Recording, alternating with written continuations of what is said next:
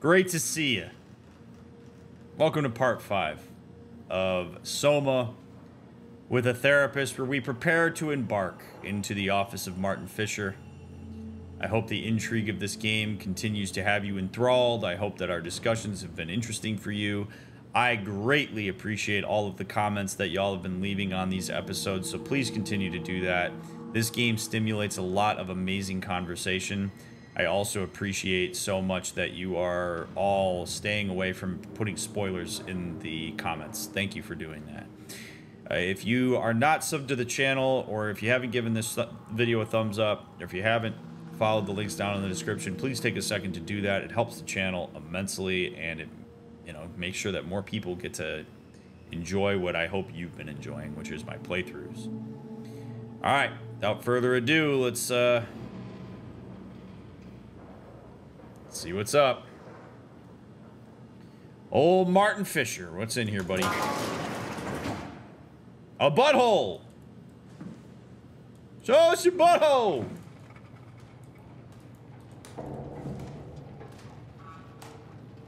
Uh, flashing light warning. I ain't touching the buttholes, man.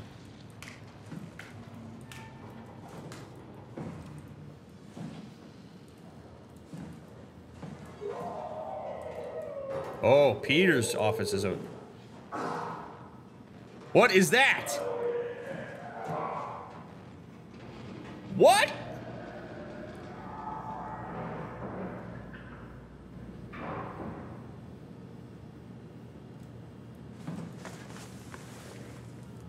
Well, I hate this for me. That didn't look like a thing that we've been... Oh,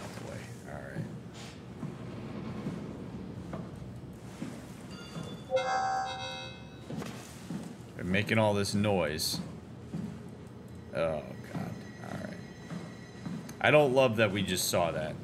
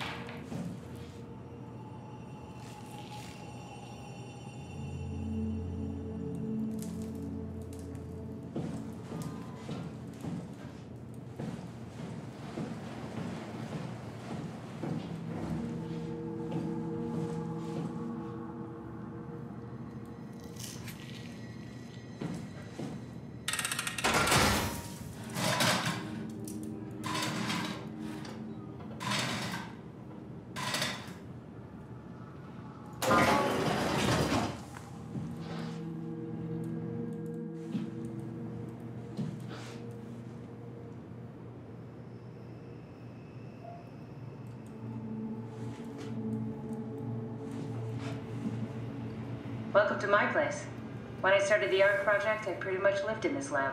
Cozy. Catherine, you mind telling me what that thing was that I saw? Simulation assets. Ooh. All right, let's have a look around here. This is where I would store the ARK scans. So you saved the whole staff digitally on these chips? That was the plan. Was?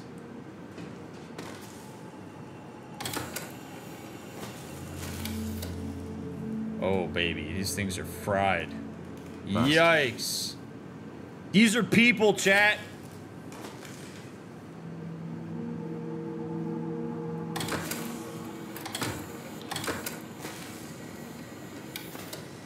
Oh, man.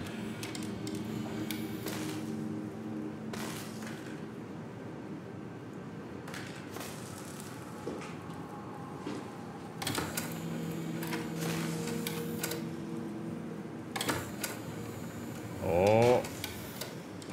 Catherine, can I pull this out? Or am I going to kill somebody by doing this? An intact memory chip.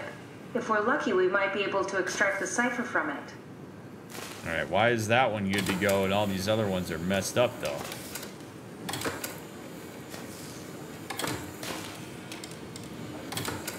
Honestly, the one I threw, the guy was an asshole, alright?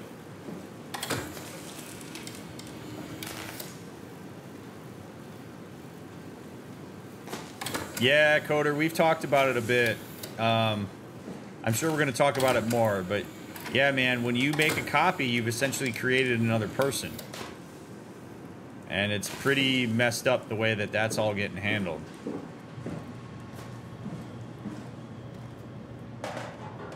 Is this thing?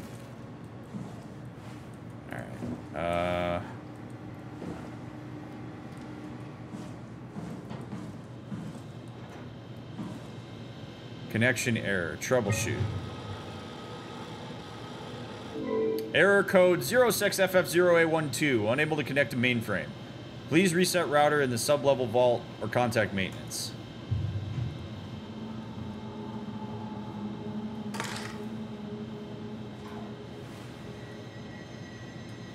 Great. Can't wait to go do that.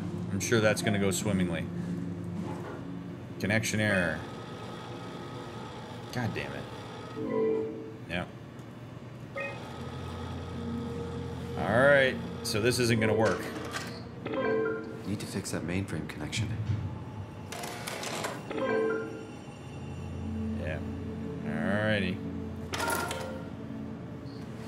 I'm gonna take these with me for now so they don't short circuit when I turn that mainframe on. What's a sci-fi game without a mainframe? Hate this. Oh. This is where I did my scan. And all the others, I suppose. You don't remember? My scan was the first. Had to test the scanner before I could start making promises. Chair looks pretty familiar. So does this robot. Oh man.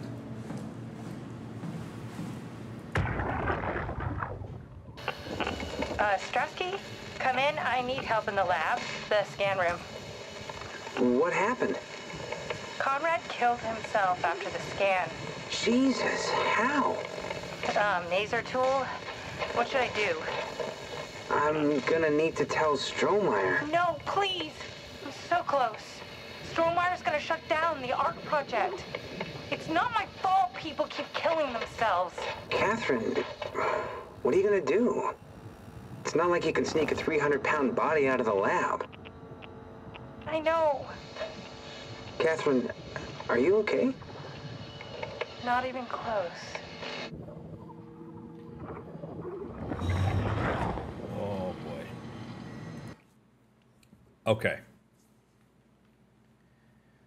Uh, again, conversation about suicide on my YouTube channel.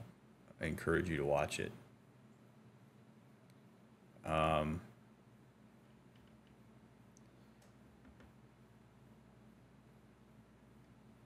one of the things that makes suicide really difficult is that it leaves people with a sense of ambiguity. Oftentimes, because they do not want to acknowledge a reality that I'm going to share right now. Which is that in the majority of cases, uh, there are some instances in which we might be able to attribute it to something else, but in general, the decision that a person makes to end their own life is a decision that they are responsible for. So when Conrad made the decision here to end his life after the scan was completed, his death is a consequence of his decision. Catherine, unfortunately, I think is reacting the way that many people do and, and, would in that kind of situation, which is to be shaken by it. That's understandable. But she's potentially left to personalize that and think she's responsible for it because she was valent to it.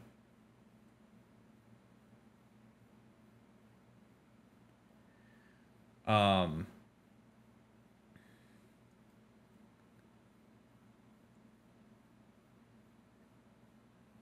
it's not her fault. But she is unfortunately tied up in this. So it would be very important for Catherine to engage with the reminder that it's okay to be affected by this. It sucks that this happened.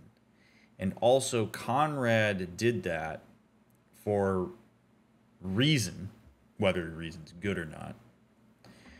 Um, and he's responsible for that consequence. They're unfortunately left to pick up the pieces on this. And again, I think the direction you want to go organizationally is what do we need to do in order to ensure that people are informed enough to not make this decision? As people are making this decision off of an arbitrary inference, and we got to figure out how to prevent this if this is not actually something that's going to happen. Does this mean that the organization has to come clean that, like, you're going to remain here even though your consciousness has been uploaded to the Ark? And if that's the case, do you still want to upload to the Ark? Like, essentially giving people a choice. But that would mean that the organization has to own up to the fact that this wasn't necessarily what was sold.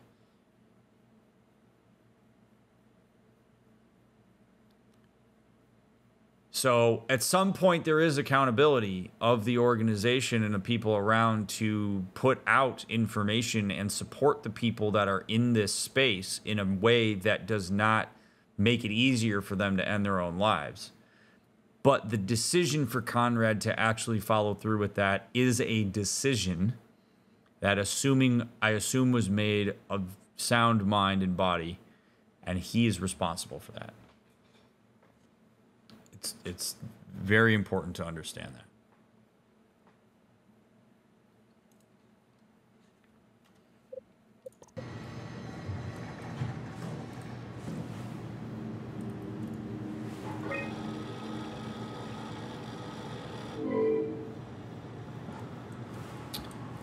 Oh boy. All right. SCX 303 pilot seat.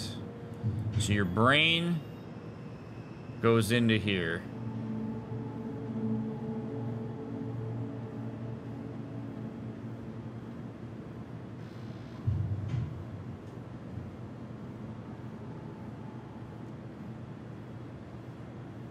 You get to do research, cartography, and maintenance, but this arrow, this arrow right here bothers me.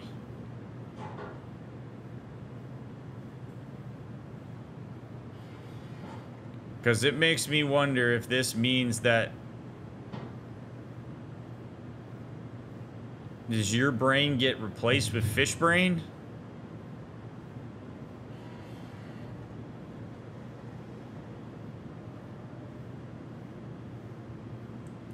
Oh boy. Ah, I see. What? Check the terminal. I just want to make sure.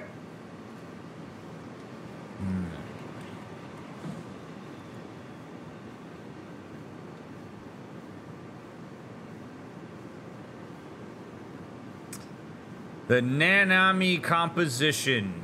Type compressed Nakajima neurograph. Continues time 21 milliseconds. It probably is point of view. It probably is. That makes more sense. But like, but again, this is why it's so important to have good descriptions of the data that is available to you because I don't need to be making an inference about that shit. I need to know exactly what I'm getting into. There is so much lack of communication in these areas. And it's really bad. All right. Uh, compressed Nakajima neurograph, continuous time 21 milliseconds, captured March 12, 2014. Author Nakajima Shin. Subject name Nanami. Sex female. Birth December 11th, 1997. Death, July 17th, 2021. Nationality, Japanese. Woo. That person didn't live very long. What's that, 24 years? Erase data. What?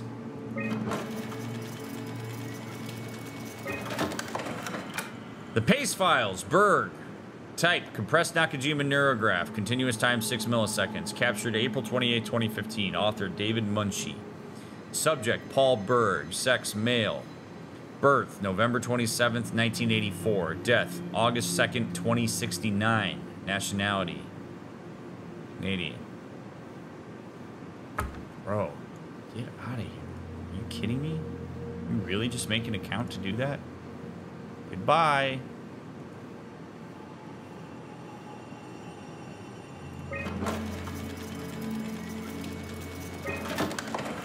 David Munshi.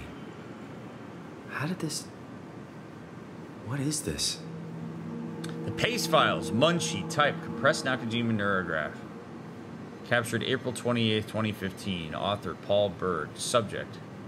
Name David Munshi. Sex male, birth October 4th, 1980. Death May 23rd, 2078. So Munshi ended up getting his own scan. These are legacy scans. Jarrett. Simon Beth, Jarrett. What is this? Why do you have a file of me? You are one of Dr. Munshi's templates. A legacy scan. Compressed Nakajima neurograph, 5 milliseconds, captured May 2nd, 2015, from David Munshi. Subject Simon Jarrett, sex male, birth July 16th, 1988, death June 1st, 2015.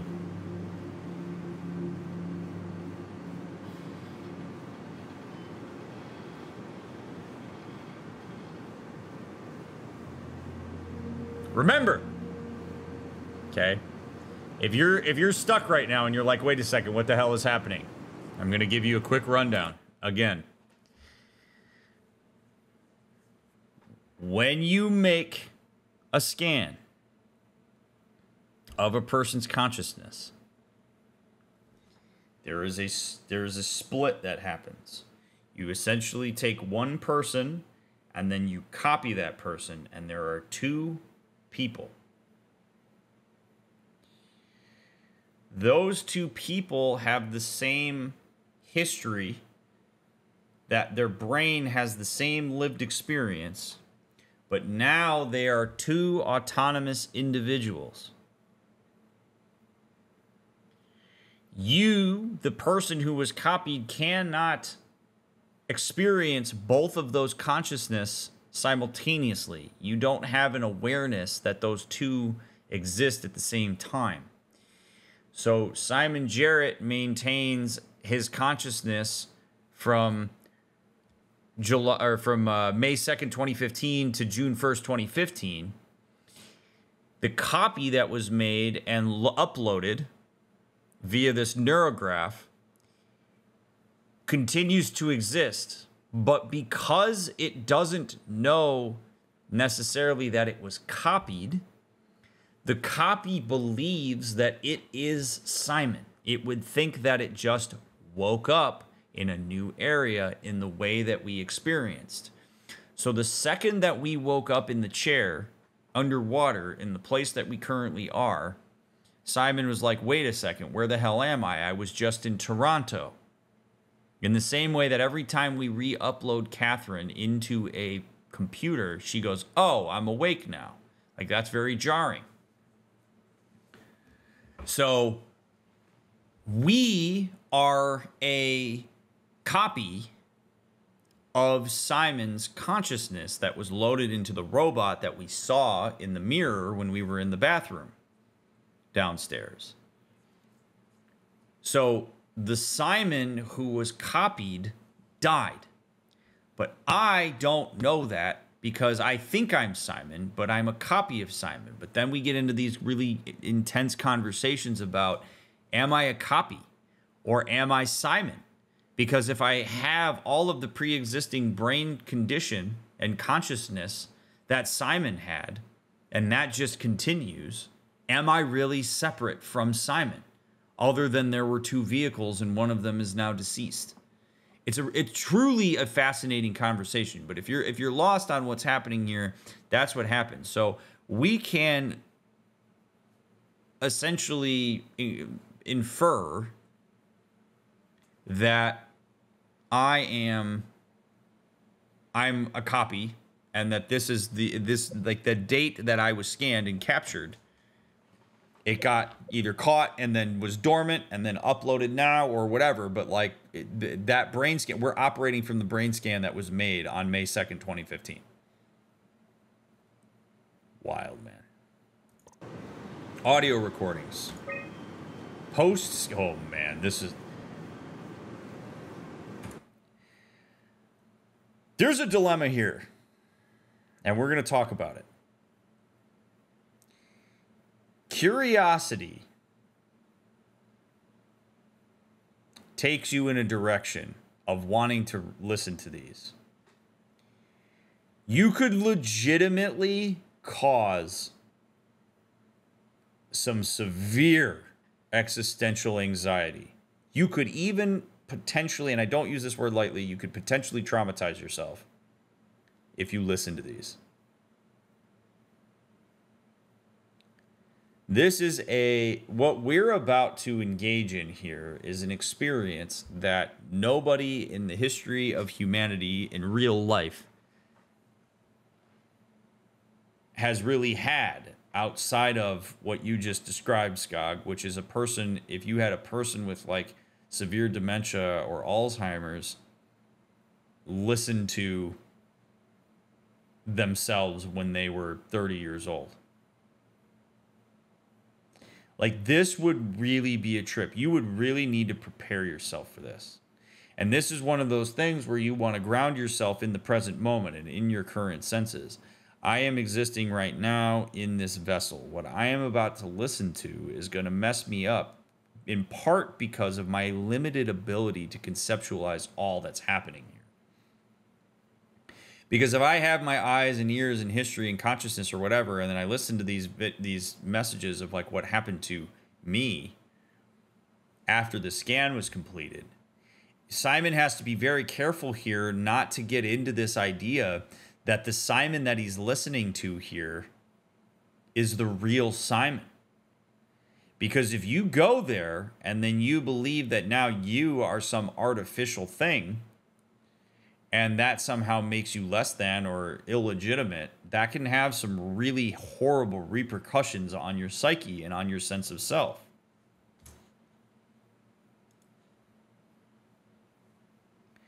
So,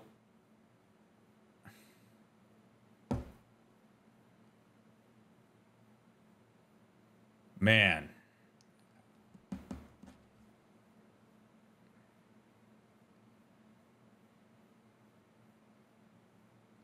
I would endorse not listening to this if you didn't feel like you were prepared for it. Like if you were not in a state of mind to really like actually take this information that we're going to hear and integrate it meaningfully, you shouldn't you should set a boundary with yourself and walk away. If you know it's going to be too painful to hear this.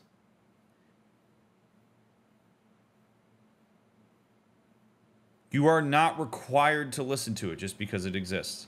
You could say to yourself, I have my current consciousness. I have my current eyes and ears, whatever that may mean. I'm going to live my life not knowing what that was. I'm leaving that in the past. Because as far as I'm concerned, I am a continuation of that person that was in the chair. You could do that, and I would understand why a person would.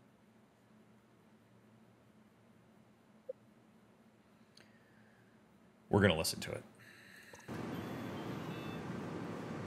Post scan, May 2nd, 2015. Okay, that's it. Wow, that was fun. That's a relief. Still figuring this out, so. It was freaky. So many lights.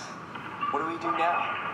Paul and I are going to run tests for a week or so, and then we'll work out a roadmap to your recovery. Well, I feel excited. Can't wait to get back to the living. Wow, man. All right, so uh, 20 days later, or 18 days later, May 20th, 2015. We've worked everything out. Everything is legal. Vouched for by Dr. Peak and Professor Way. Oh, that's great news. No big change in medication. You'll be taking an aspirin every morning, but that's about it. Paul worked out a diet with some variations you should try out. You can continue doing physical therapy. Also, there's some extra cardio training every other day. Okay, getting complicated. Don't worry, it's really not. We're going to keep an eye on you every week, so we'll be able to adjust the plan if needed.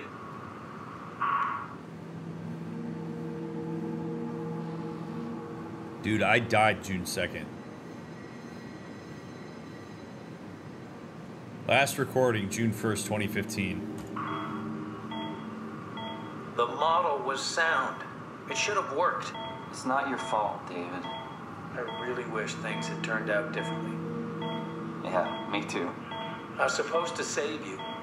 Hey, you got my brain on file. Maybe you can put it to some use. Yeah, who knows? You'd be okay with that? Using it for my research? Sure. It's like a part of me lives on or something. Like a donated organ. You know what sucks about dying? What? The crash. Everything up till now. Brain damage. You guys, everything. Has made my life so much more real. I started thinking about all the things I was going to do. I'd never been more excited to be alive. All that hope. Wasted.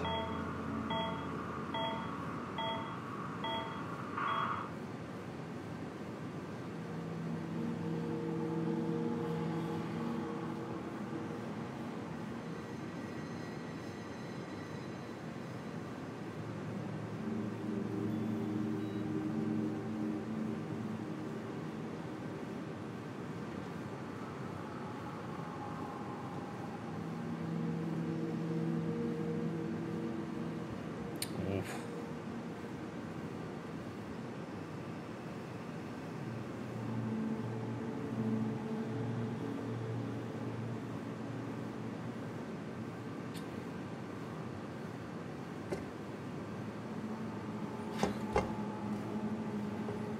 What a.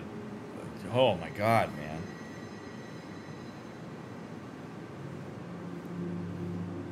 Simon Look, I mean, here's the thing. I, I, so few of us can empathize with what it would be like to be in the situation where you know you're gonna die. You know it's there. You know you're on the doorstep. You know that your time is finite. Or I should say, there's so few of us that like can articulate that experience because people who do go through that experience are dead and can't articulate that. So. Like there are some people that have had near-death experiences; those can be pretty fascinating to read. There are certainly people who maybe thought they were going to die because they had an illness that uh, they were told they were going to die, and then they somehow recovered. But for the most part, many of us haven't had an experience like this.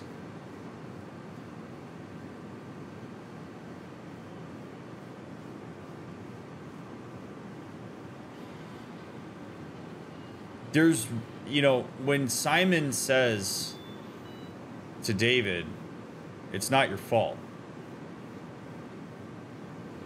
Maybe it's not, but he's got probably maybe some role because he was involved in the treatment of this. But there's no point in engaging with anger at that point. Unless you wanted that to be your last physiological experience before you went out. I mean, I think there's a real caretaking aspect of the way that Simon handled that. Of like, I'm I'm cool. I'm processing this. I'm I'm taking it in. I know I'm gonna die. I'm gonna figure out what that means for me with what consciousness I have left. And uh, if part of the meaning that I make out of this is that all of this is okay in some way, shape, or form because I know that a part of me is going to live on at some point, okay. And the layer of this that is just so wild is that as far as I, the Simon reading this, am concerned, I never died. So in in this very weird way, I actually did get to live on. Like, I didn't die because this consciousness is not aware of the fact that it's a copy until now.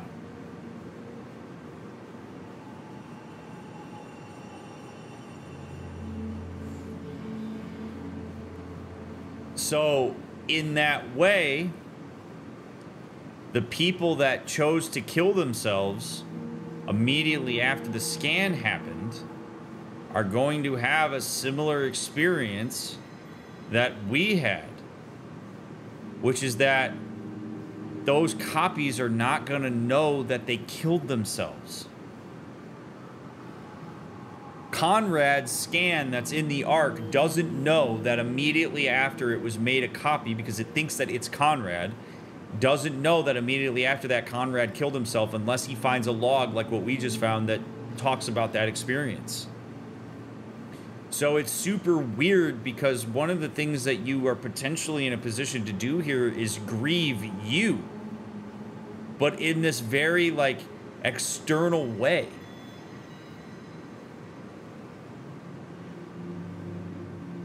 Amazing and trippy. They would know if they planned to. That is true.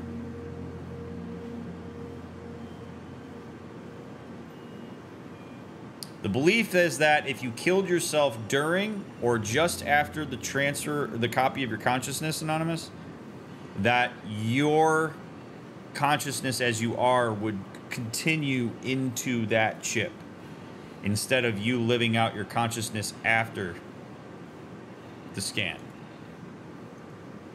Jesus Christ, man. Imagine making four accounts just to make a point. Um, man.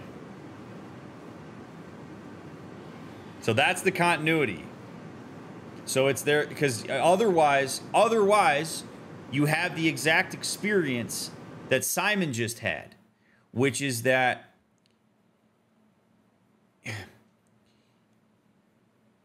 you realize that the like when Simon when they lifted the thing off of his helmet, like when he lifted the helmet off, and he was sitting in the chair and he got up and was talking to David Munshi.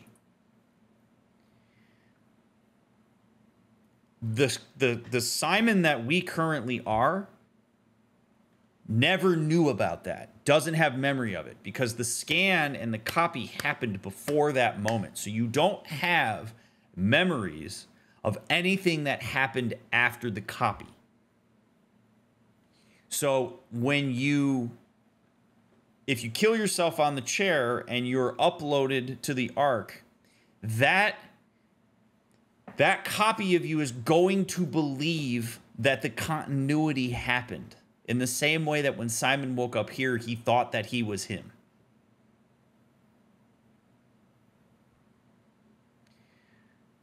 And you don't cease to exist, like, you don't continue to exist in this current life if you kill yourself, obviously. It's just, it, man, oh man, it's wild stuff. I wonder if this is how our Catherine is able to be so cheerful and confident about the ark still. She was scanned before any of the later stuff went down. It very well could be. Um, it's interesting though because in the same way that we have a sense of like we can observe the environment as it currently is, it's odd to me that Catherine doesn't seem to be able to do that. Or she can and she's not engaging with it.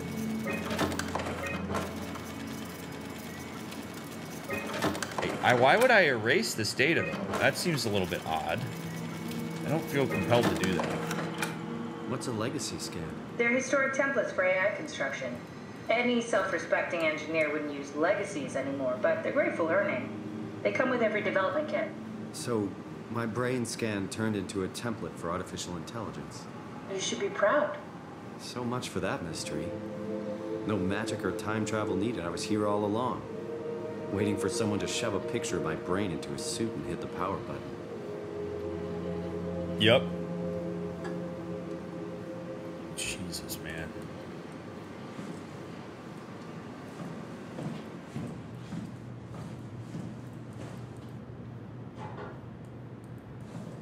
Yeah, Simon Simon seems to have worked hard to make some kind of peace with this, but oh man.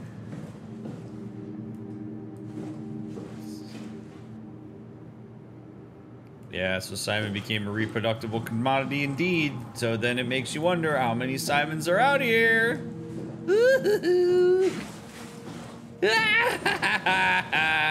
Hate it.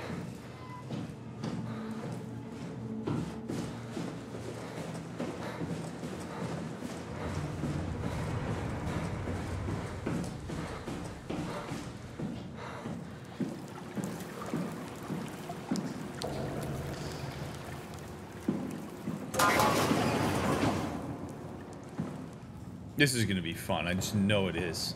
I just know we're gonna love every second Thanks, of this. Strohmeyer. That's a real helpful report. Be quiet, the proxy listens. What happened to Theta? No explanations anywhere. Kinda sounds like a warning.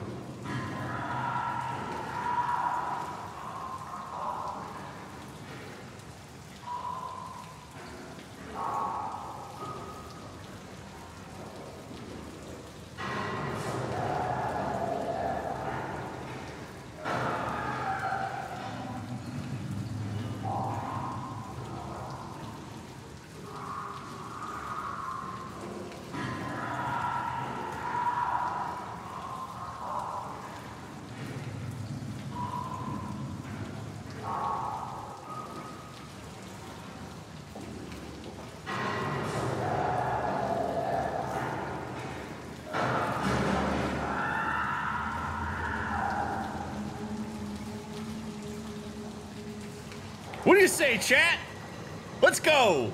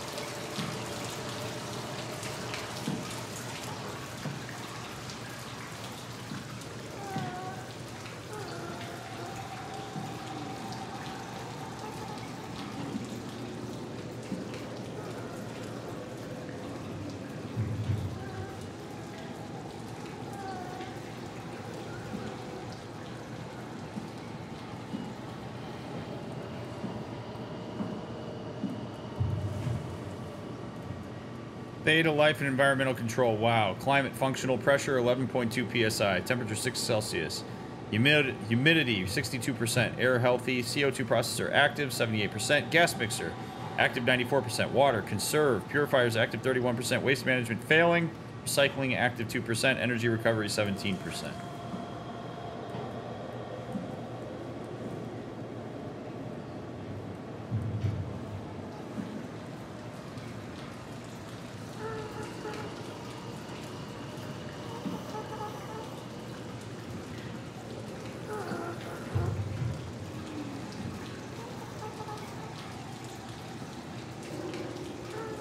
Bro.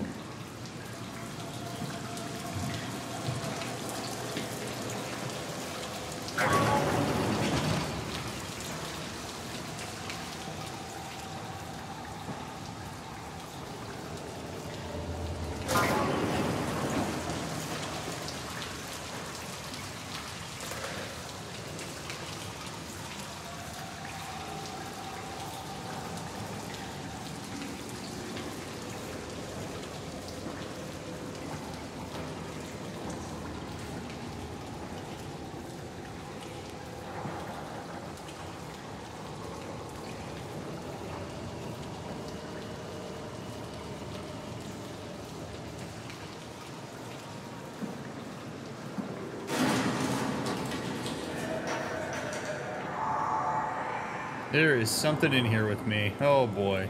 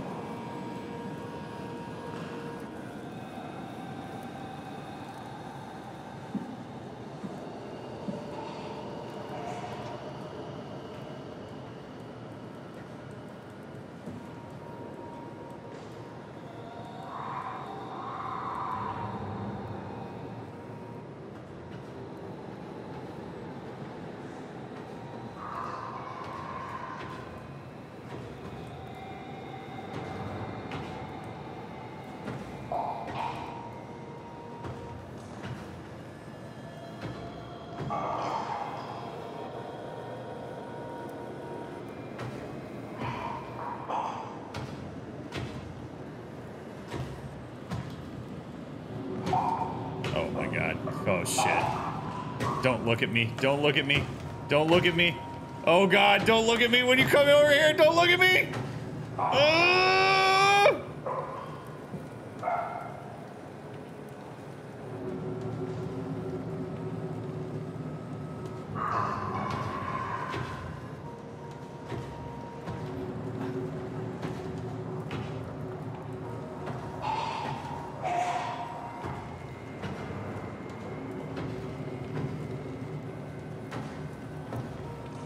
It's just the OSHA inspector.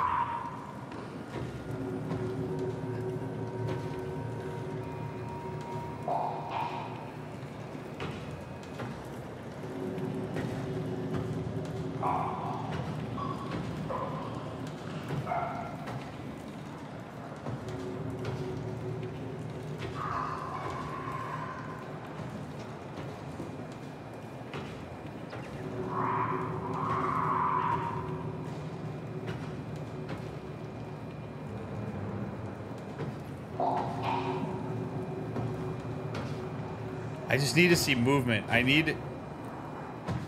I need to get a visual on this thing. There it is. Oh god. Oh god! Don't look at me!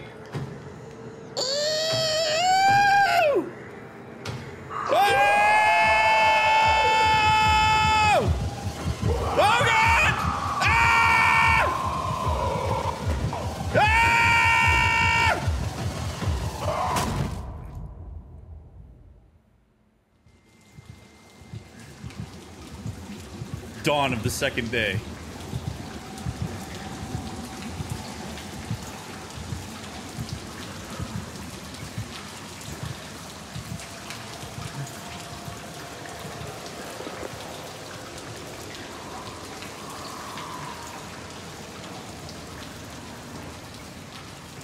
I just got knocked out. No. Bro. No.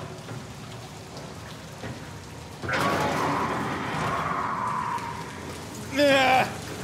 Oh god, I'm gonna have to touch a butthole. Oh, I can open doors!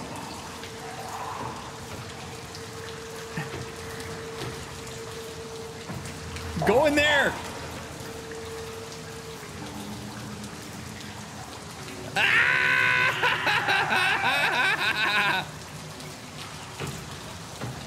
No! No!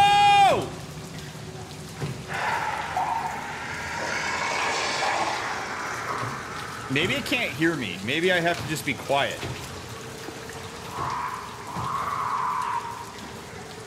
Oh, okay. Can't. Okay, so I me running was really stupid.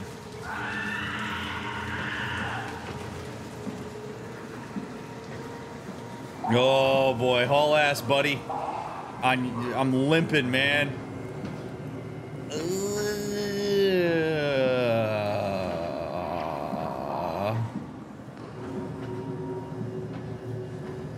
Come on, Simon. Come on, buddy. Come on, buddy. Oh, why does this room have to be? Oh, Jesus. Okay, this is not the way. Oh, move! Ah! Oh, God, keep moving.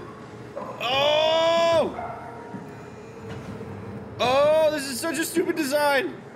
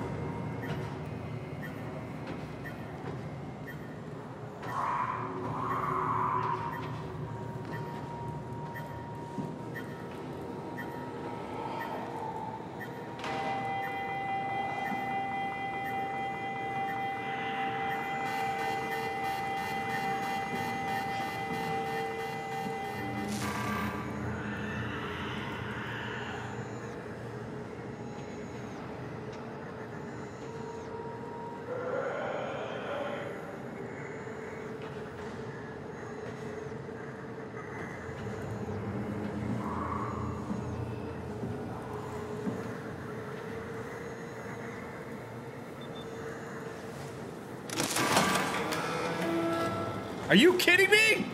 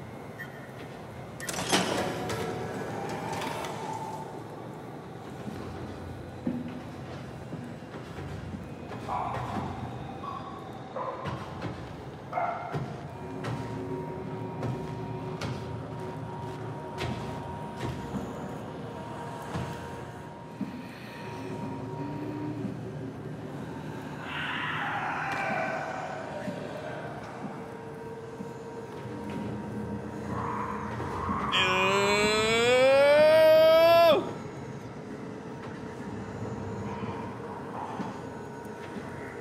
Oh!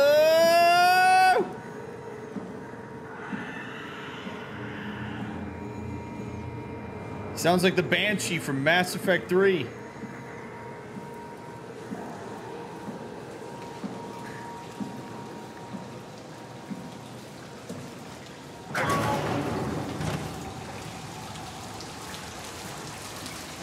I really hope I don't need to do anything with that.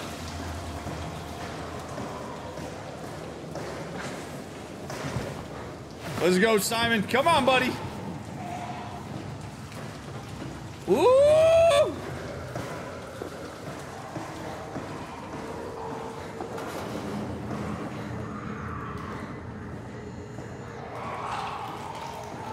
Good job, Simon.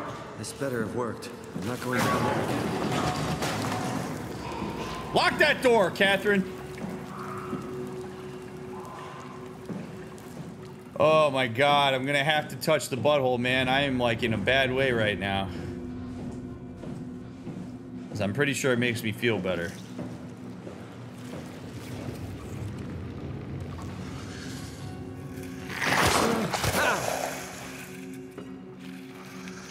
Jesus Christ!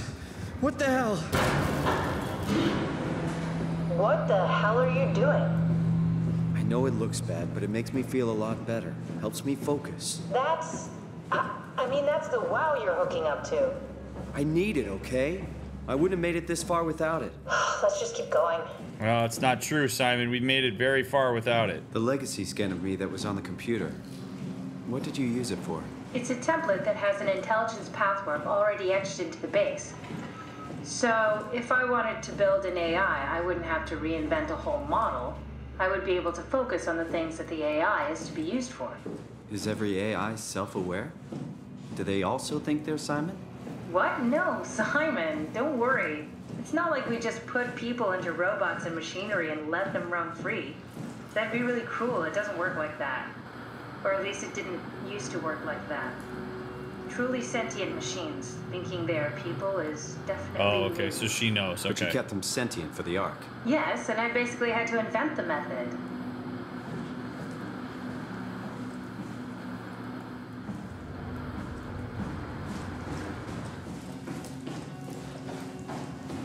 Okay, well, I appreciate that she at least has an awareness that that's a new development.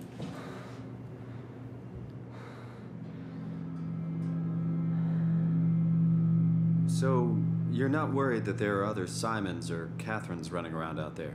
Now I am. Geez, Simon, some thoughts are better left alone.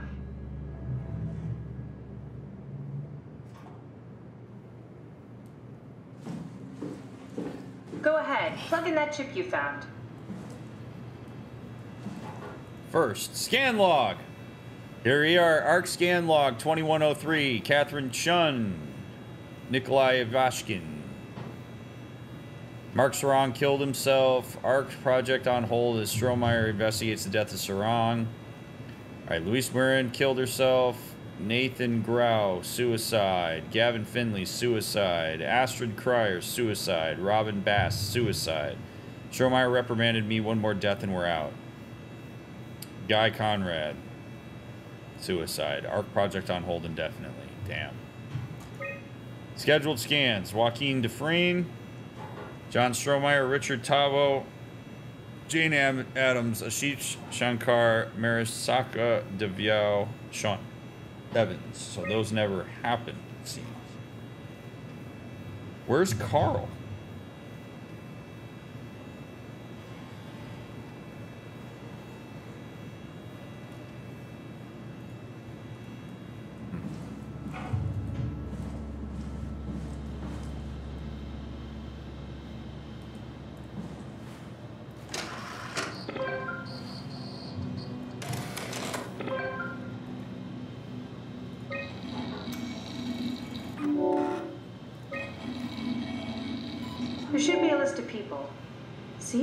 Anyone who could know a security cipher.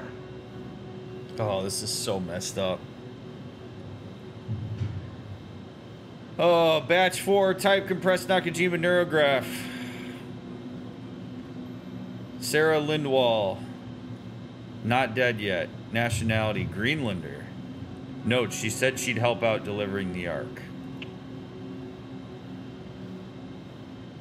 This is Mark Saran.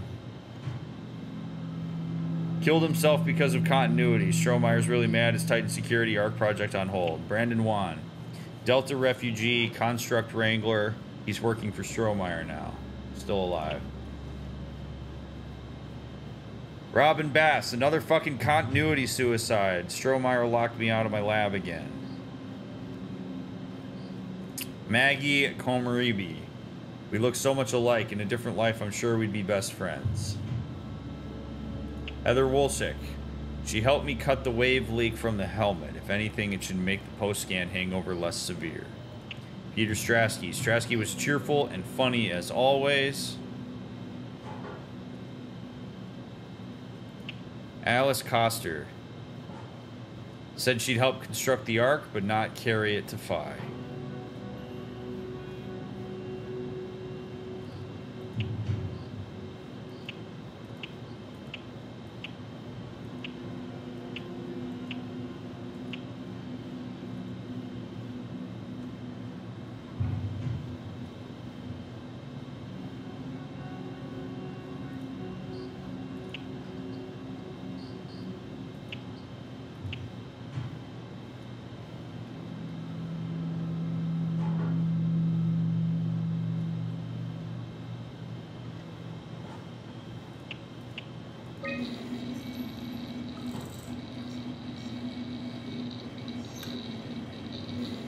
No, won't work. We need someone from Data Security Group. Oh, okay. Um, data security group would be.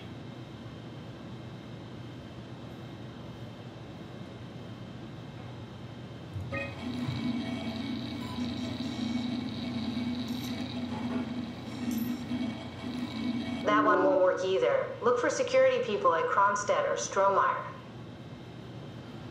Why wouldn't you just?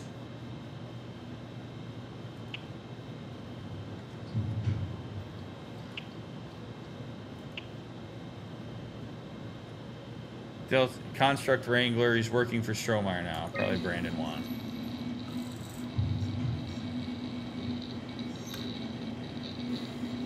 Very promising.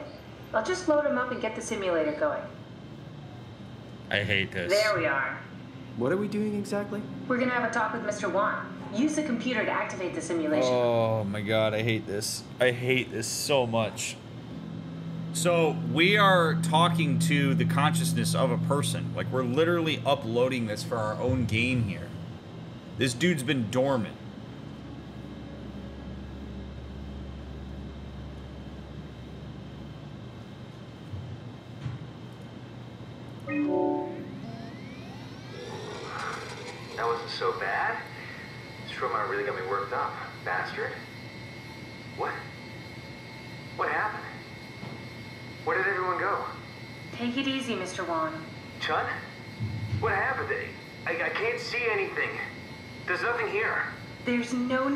Need.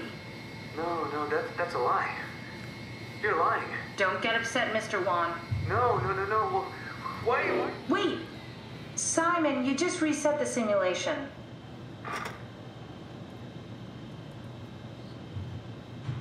Are you kidding me, Catherine?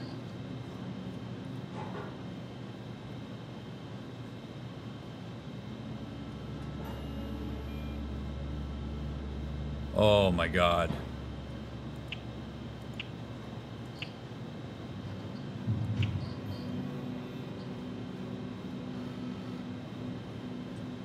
All right, so here's what we're doing right now for those who don't know what's going on. We are we have access a uh, the consciousness of Brandon Wan. When we upload this, his consciousness gets run through a simulation. It's actually him. It's as if he's waking up, like we did when we were under the water. So that Brandon Wan that we just woke up in the absolute darkness and Catherine starts talking to him, just woke up and the last thing he knew was whatever he experienced before he like went to sleep. So by me shutting that simulation off, I essentially just I, I just killed him. That's fucking crazy, man. I just killed him when I did that, as far as I know. Catherine's people skills are dog shit. Like, tell me what you know about him. Where is he more likely to be comfortable where I wake him up? Telling him to calm down is not the way. Like, this dude's gonna wake up and he's gonna be. Oh, man. Alright. Oh. And if you're sitting here and you're like, dude, Dr. Mick, you don't need to worry about this. It's just a simulation. No, it's not. Like, again, all the conversations that we've been having about the nature of consciousness applies here.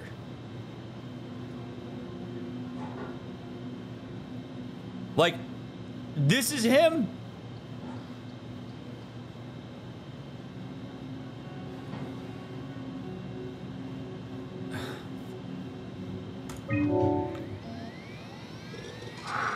That wasn't so bad. Trauma really got me worked up, bastard. What? What is it? Where am I? Relax, Mr. Wan. Just keep calm. Dr. Chun? What the hell is this place? I need your help. I have to get the new security cipher. Why are you doing this? Is this some trick? I'm not giving you anything. I'm trying to save a lot of people. No, you're lying. This is all a lie. Look at this place. It's a fucking joke. Get me out of here, Chun, punch your teeth in. Simon, what the hell? We need to do this. You fucking suck at this, Catherine.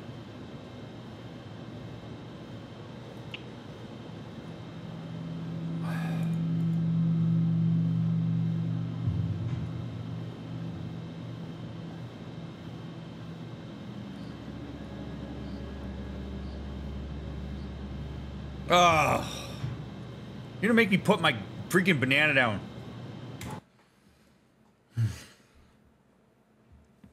Okay.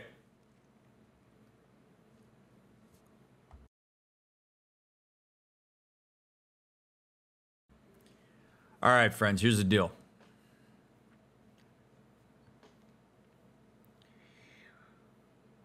When you know that you are going to engage with a person who is highly stressed out, you know that he's going to wake up and be stressed. This is similar to like if you know that somebody's been having a bad day and you got to like deliver news to them, or like if a person's come to if they've been injured or whatever. Okay.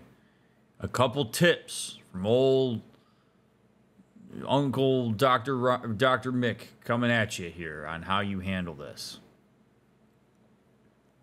The very first thing you do is you want to give that person important information that is very simple and clear so that they understand what's going on.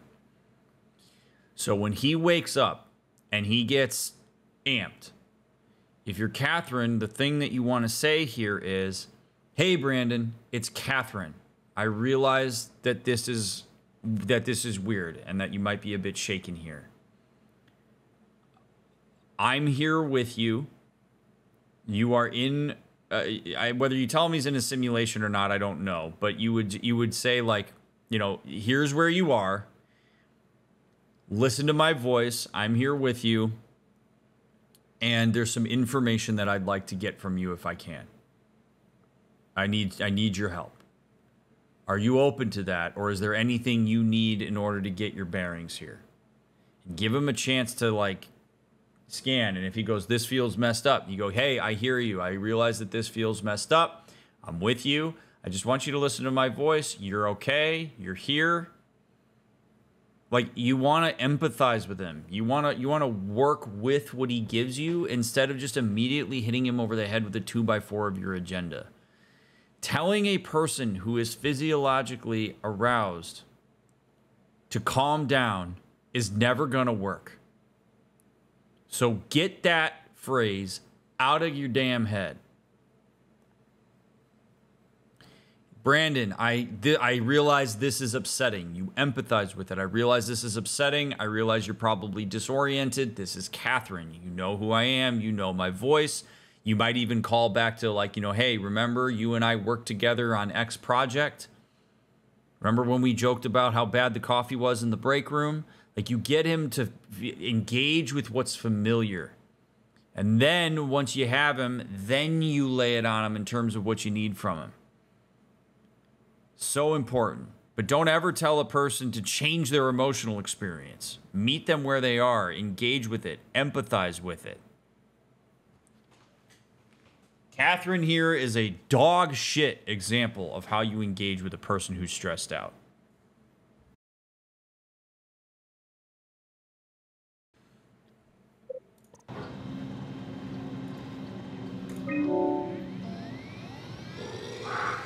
That wasn't so bad. Strohmeyer really got me worked up, bastard. What? How did I get here? Mr. Wan, I need your help. Dr. Chen, is that you? What happened? What is this place? Everything's fine. Theta needs your help.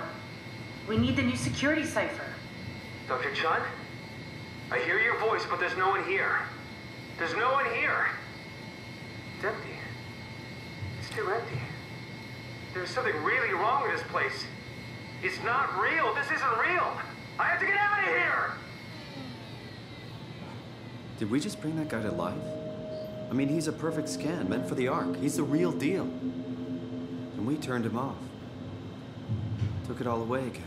I really thought that was gonna work. Maybe we can try again. Catherine. Oh my god.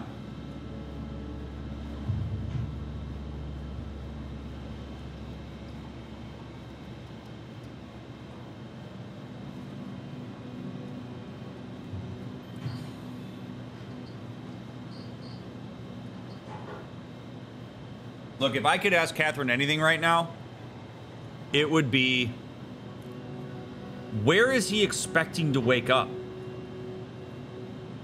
Do you have any context for this?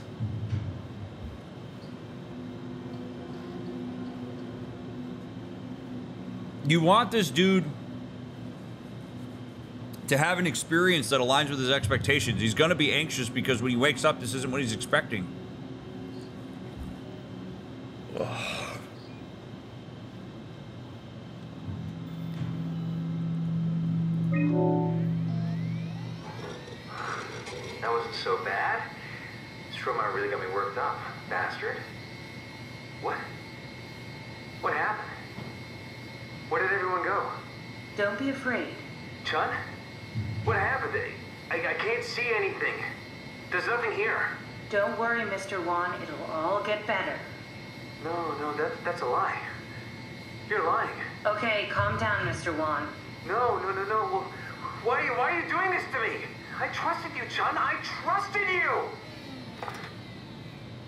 Do we need to turn it off? Can we just keep him alive until we've got the cipher? The longer he's exposed to the computer model, the more he'll get hung up on it. So, what's wrong with letting him settle in a little? It would drive him insane. So let's keep the session short and the suffering to a minimum.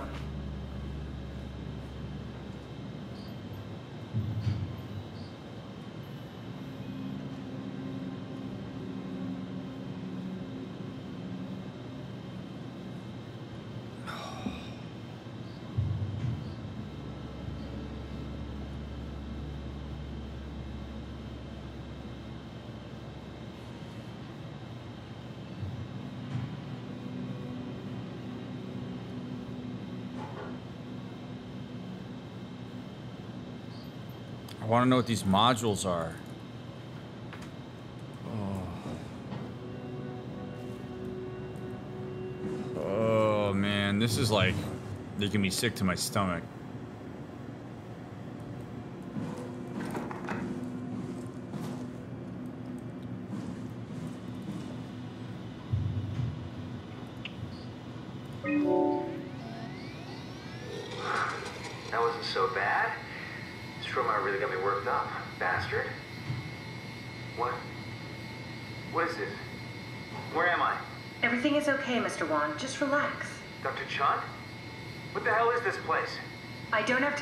Explain. I need you to give me the new security cipher.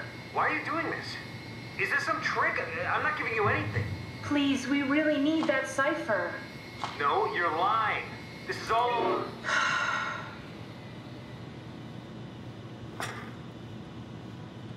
She's doing the same thing every time. Oh my god, please.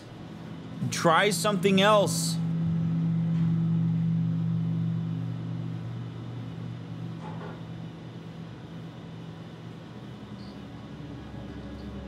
He is unaware every time, but we're literally we're like we're killing a new person every time we do this. This is crazy.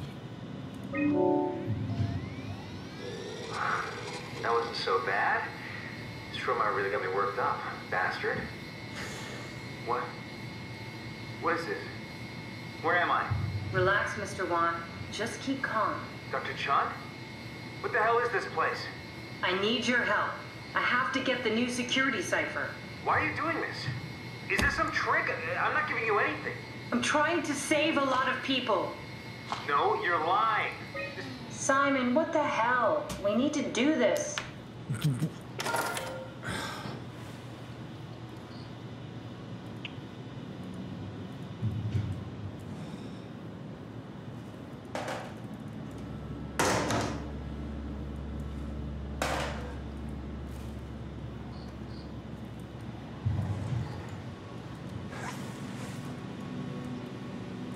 I'm looking around to see if there's another module somewhere, man. This is crazy.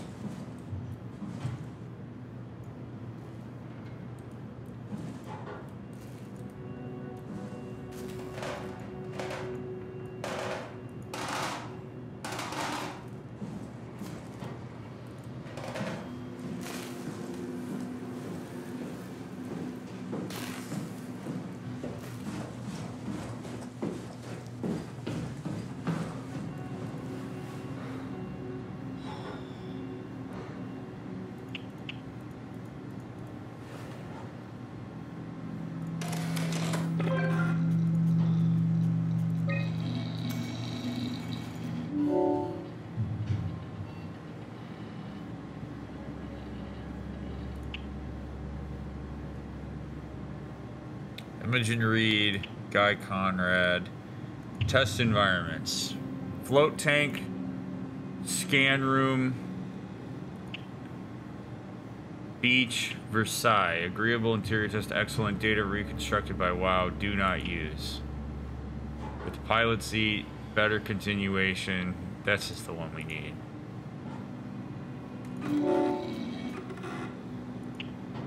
Float tank, water-filled steel tank sensory limiter. Holy shit, that can't be good, but corrupt data, okay.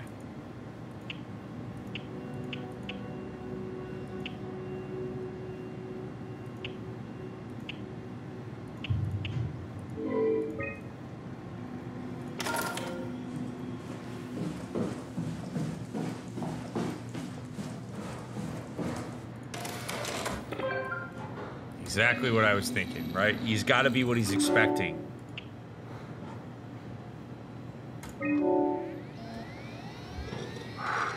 That wasn't so bad. Strohmeyer really got me worked up, bastard. What? Where did... Alice? Congratulations, Mr. Wan. The scan was successful. Chun? Where's Alice? She had to leave. Listen, I really need to know the new security cipher. What? Why? Why would you need that? This is the trick. Please calm down. I know you couldn't be trusted. None of this is real. But you won't break me, WAU. You hear me? You won't break me! I think we need to build the scene so it's more what he'd expect. As soon as he starts to doubt, we've lost him. You're right. We need to think this through. We need some more data.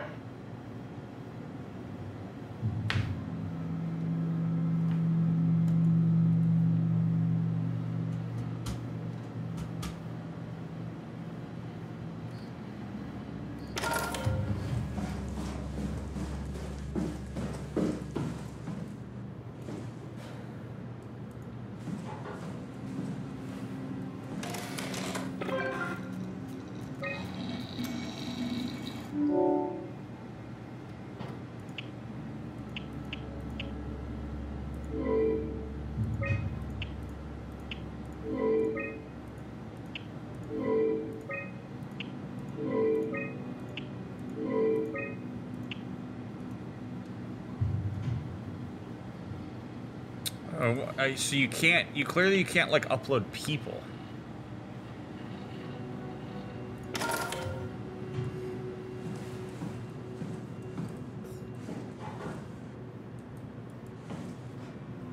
That's not on.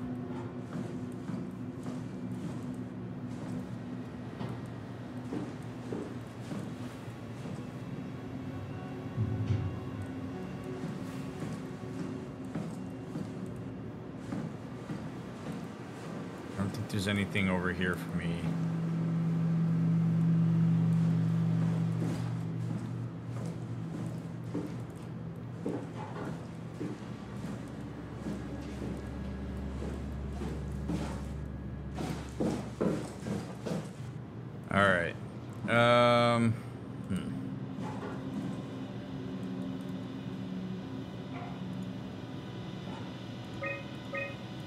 Nothing here that's of use to me. Just to see.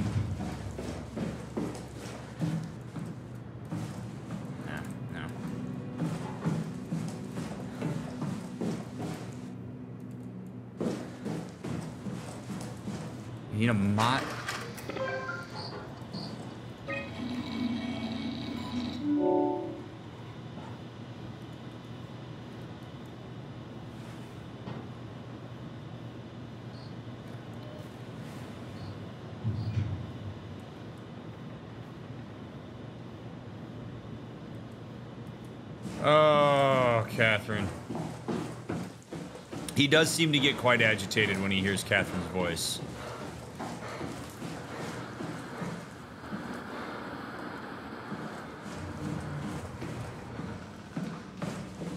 Here we go. Brandon Wan's room.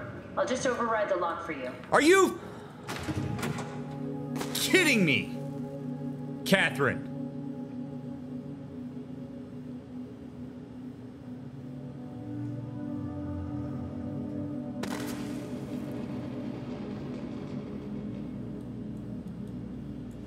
Wonder what the real Simon would have thought if he knew about me. What do you mean? You do know about yourself. No, I, I mean the real Simon. The human Simon. Going by your reactions, I'd say you'd be pretty upset.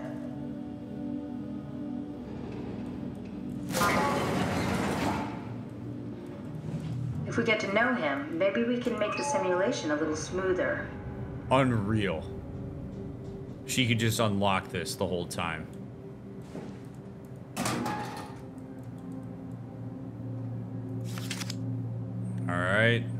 Likes the desert. He likes castles. Fairchild Award for art for achievements in the engineering in, in the engineering youth boats pagodas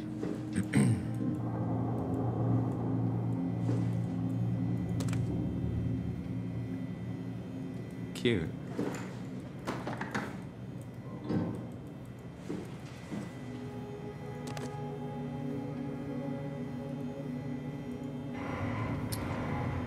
August 14th, 2103. Akers finally agreed to evacuate Delta. Goya, Cryer, and I moved into Theta today. Akers said he'd stick around for a while longer, that crazy bastard. I take pride in my work, but god damn, that place is miserable since the service stopped sending parts. August 25th.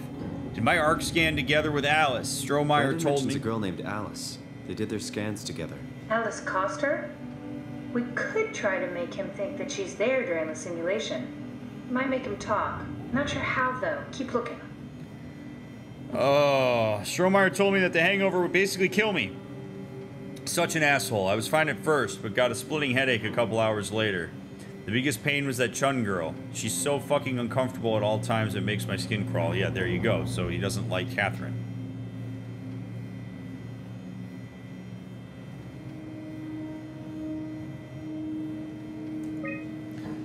Strohmeyer went ballistic and shut down all future scans for the ARK project. Apparently, Conrad wanted in on the continuity and just fried himself right in the pilot seat after the scan. Something tells me we'll be getting new security ciphers. January 15th, just heard that Komaribi survey team is going to Delta and pick up Akers. He's been alone for months now. Can't imagine what he's been up to.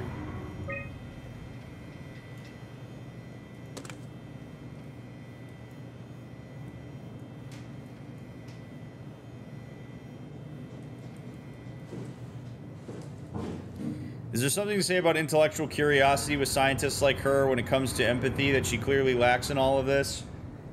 This is why it's important to remember that you're working with human subjects.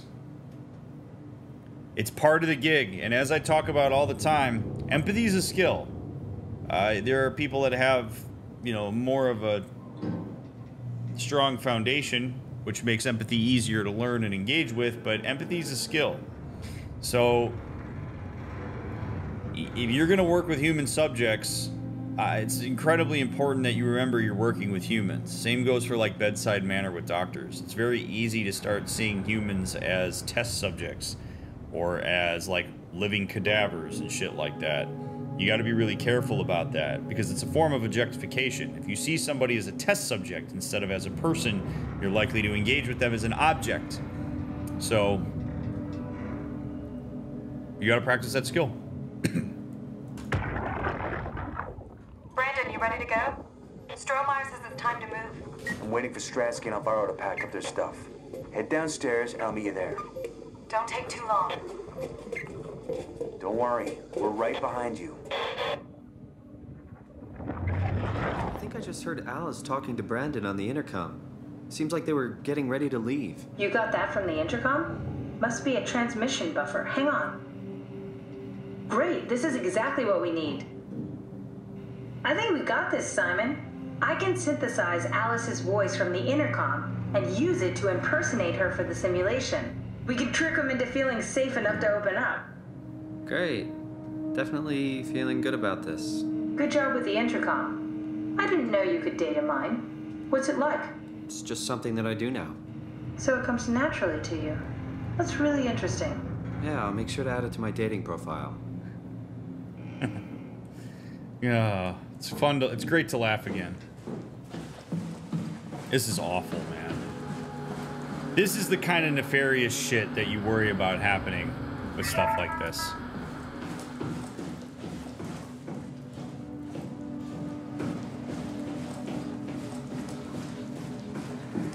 I compiled an Alice module that we can use. So she'll be with Brandon in the simulation. Sort of. I'll still need to do the talking, but it'll sound and look like Alice. Yeah, I mean, this is a perfect example of what I was just talking about t- when I answered your question, Christian. Catherine is so wrapped up in the like science and experimentation and the fact that they can do this that she's not really taking the time to empathize with how awful this is. I mean, we essentially killed six Brandons. And she's like, "Ooh, I can mimic Alice. This is so fun. We're gonna trick him and get what we need, and then we'll just kill him." Isn't that amazing that we can do that? I, and like this, this happens, man. Like this absolutely can happen if you're not actively and intentionally grounding yourself in the reality of what it is that you're doing. You will start to distance yourself from the humanity of this.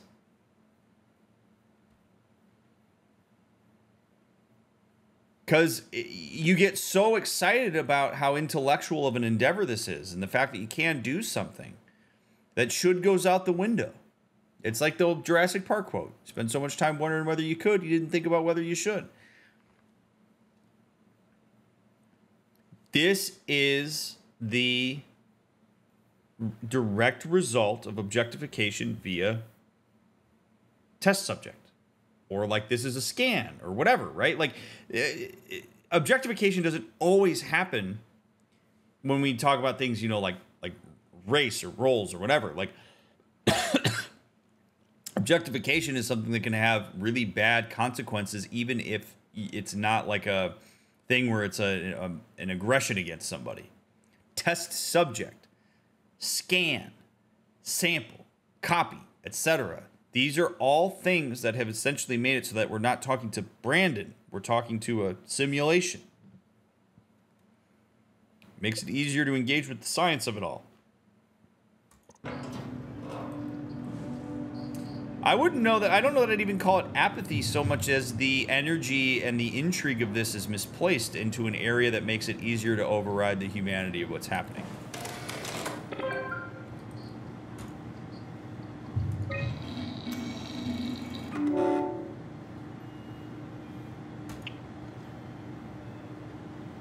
Better work, man. That wasn't so bad. Strohmeyer really got me worked up, bastard. Well, that's what you get for listening to his stories. I guess I had it coming. About Strohmeyer. He said he needed a new cipher ASAP. What should I tell him? It's all right. I can talk to him. Wait, didn't Sean just tell you to take it easy? Don't worry, I'm not going to tell anyone. I do feel hungover. Okay. It's 1729 over 42, 12 over 407. Got it? Yeah, I got it. I'm sorry, Mr. DeLong. Brandon. Goodbye. That's enough. We got what we need. Is that what we are? Simulations? Yeah, but it shouldn't make any difference. You're still you. And he's I'm still not sure what to do with the data. You decide.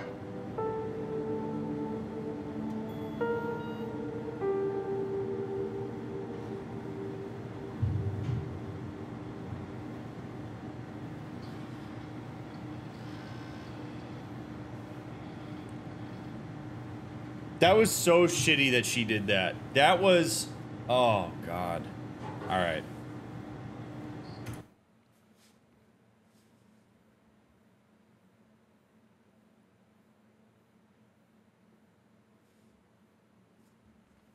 Look, I I'm gonna take. Oh god. All right, I have two options here. I can get really mad at Catherine, or I can try to engage empathy for her, and I'm gonna try for a second here to engage empathy with her.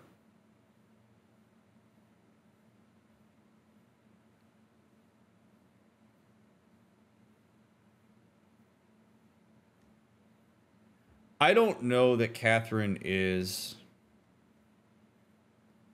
actively being malicious and withholding.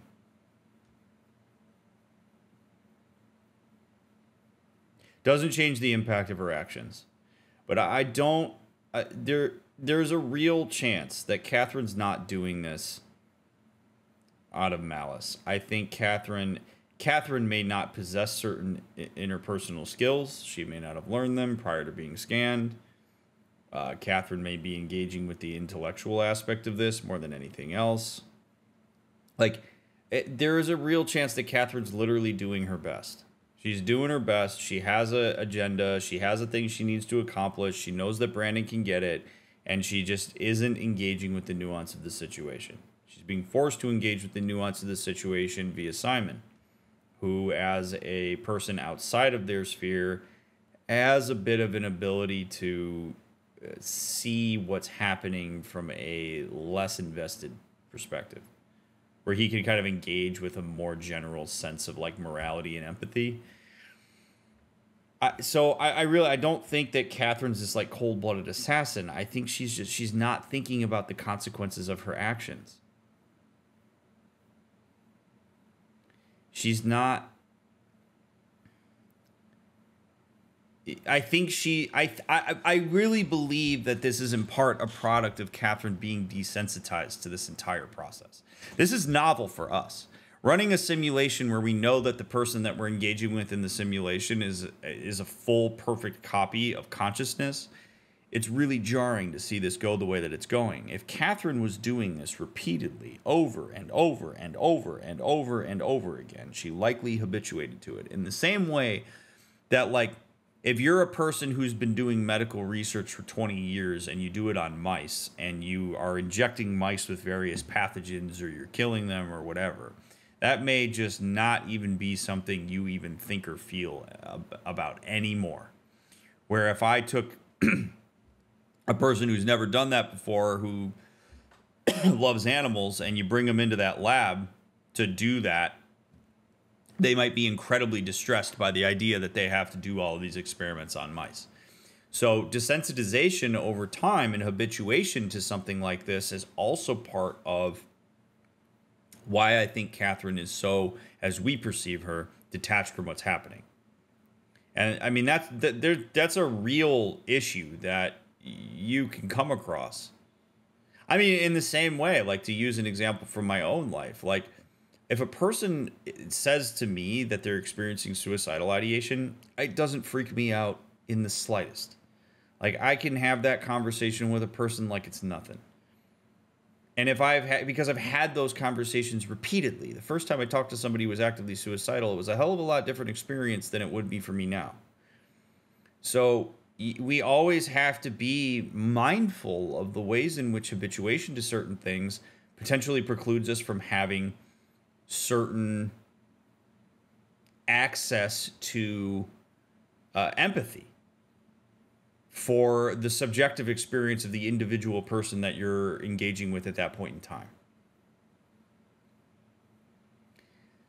It's hard. I mean, and this is why I'm such a fan of bringing intention to the way that you engage in your world and with other people because the more you do that, and the more you remind yourself of context and audience and all of this stuff, the more likely you are to be to engage more authentically and empathically with the people around you in a situation like this. If Catherine engages with the fact that, like, okay, man, like here's the thing, right? Like, so Catherine, by viewing this as a simulation, says, okay, cool, let's just do this as trial and error, which is a very scientific view of it. Let's pop Brandon into the computer. Let's pick a ski lodge and let's run the simulation and see what happens and then we'll use feedback to do subsequent whatevers.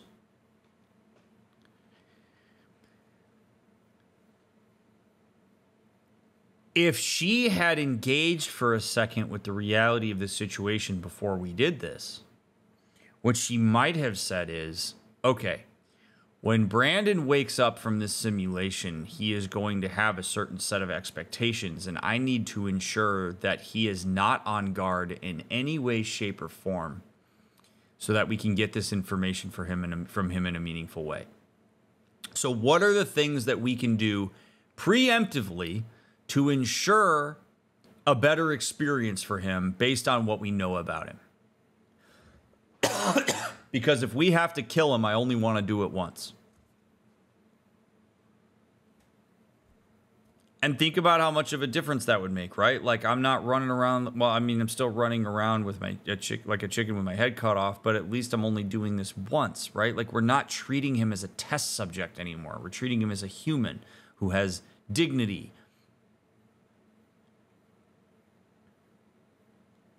So uh, this is why it's important to engage with the context that you're in. Uh, yeah, Pharaoh. That's a decent way to look at it. What would you think about the fact that Simon refers to human self as the real Simon rather than saying original or other? What does that say about the way he sees himself? Well, he sees himself as a copy.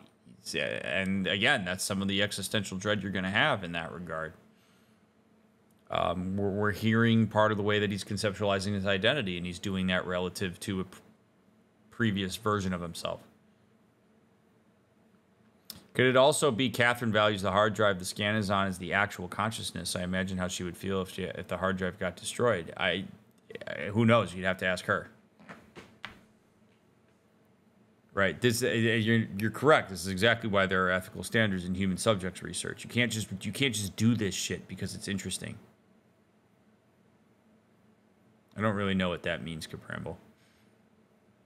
All right, so now I have to make a decision here. Do I erase the data or shut down?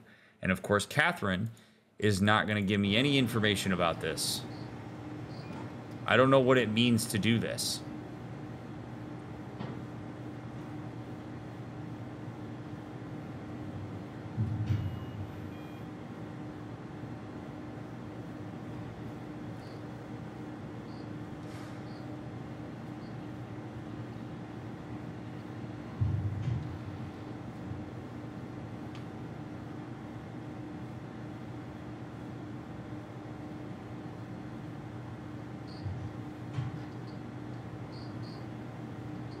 I don't have to do either. I can walk away from it.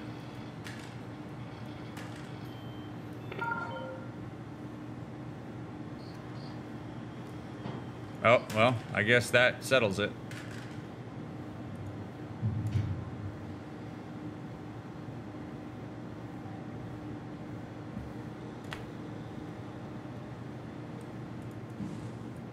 Hey, Simon, go put him back in the Ark, because wouldn't that be nice of us to do? No, don't care. You got what you needed, Catherine? Okay. Holy shit, man.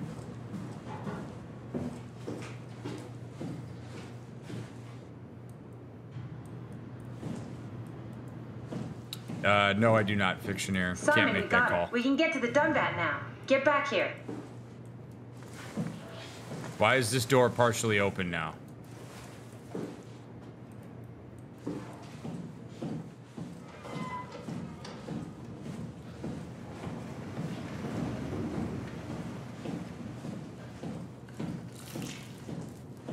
Catherine, couldn't we just have extracted the cipher from Brandon's data somehow? so cruel bringing him back like we did. No, that's impossible. Memories don't work like that. Let's just hope it was worth it.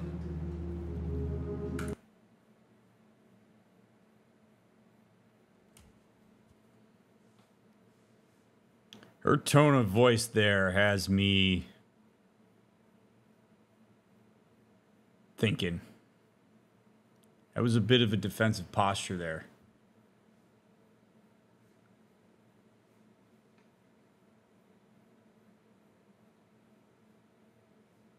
Like, that's not an unrealistic question. I think that's a perfectly reasonable thing for Simon to wonder. Is there any other way that we could have done that? And her defensiveness there suggests either one of two things. One, she is also distressed by what just happened and she's kind of engaging with the reality of it. Uh, or two, it was possible. We just didn't have time. I mean, it, it, it, there are so many ways that people work to try to cope with stuff like this. And one of those ways is to double down on your reasoning for why you did a thing in the first place. I did not delete him. I unplugged the thing and I shut it down. I have to hope, I hope that the whole thing is shut down just because there's no electricity running through that chip. But I did not erase it. I didn't realize that when I pulled the USB out, that was the end of it. Oh man, what a nightmare.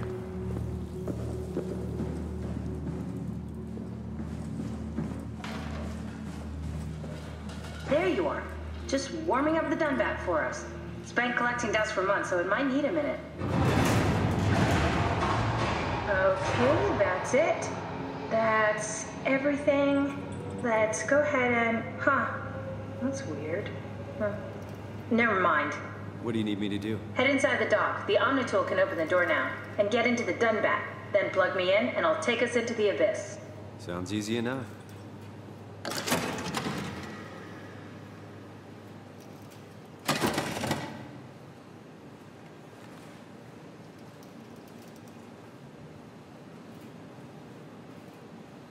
I want to know what her investment in all of this, like, at the end of the day is.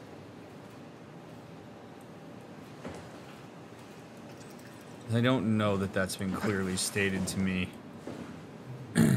uh, that's a question for Discord, Capramble.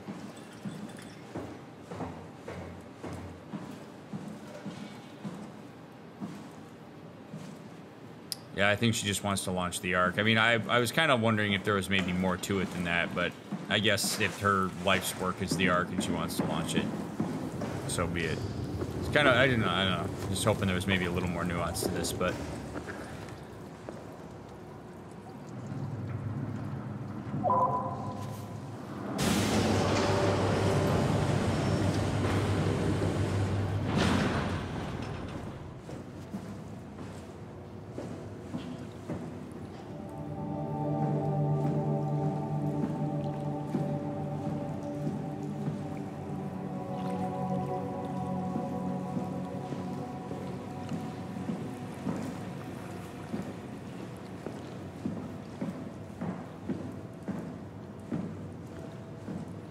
Alright, so we're already underwater. And then somehow...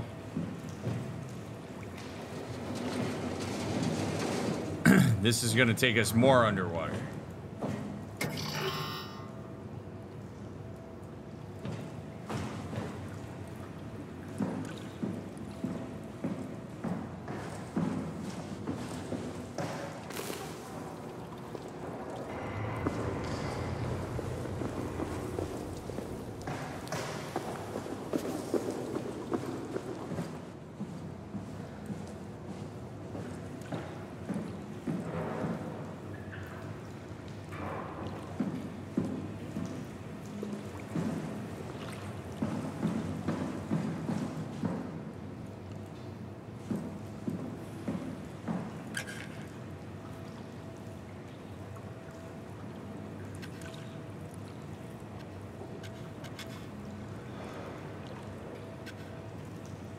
Not going back in that damn basement.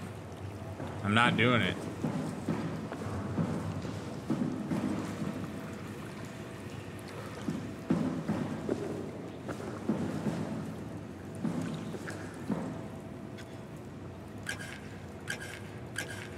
Catherine? Little help, homie?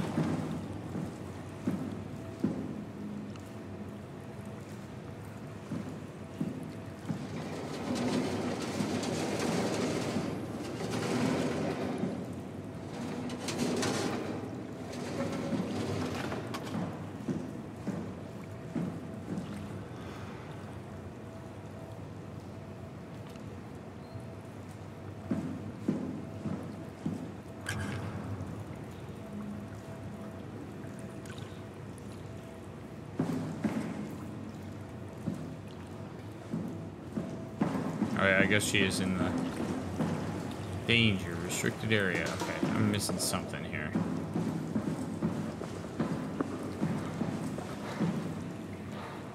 Plug. Oh, gotta plug it in. Okay.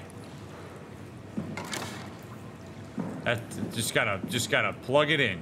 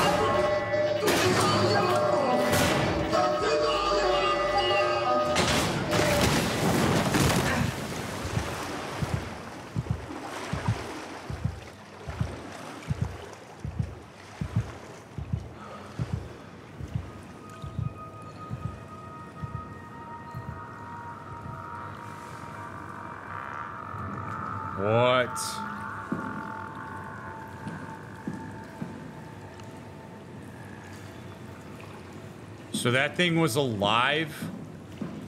Dude, this is... Uh, man. This is just... I just... Man, Catherine is not my favorite person.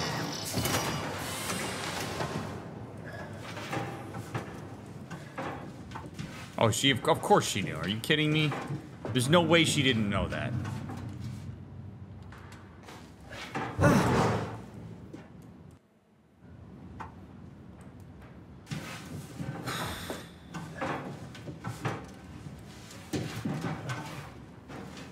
High security area. Hmm.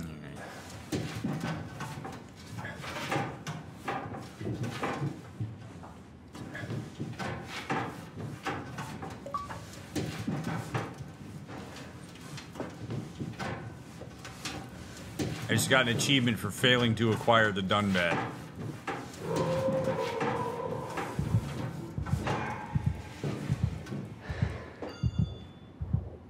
Oh, good. We're right above that hallway where that thing was.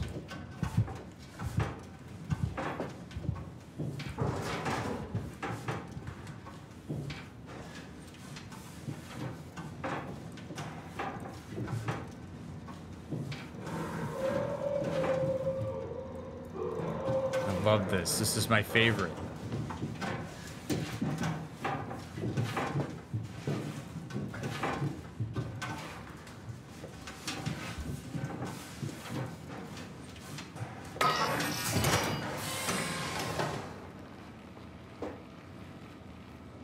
Nothing eerie about this. No, sir.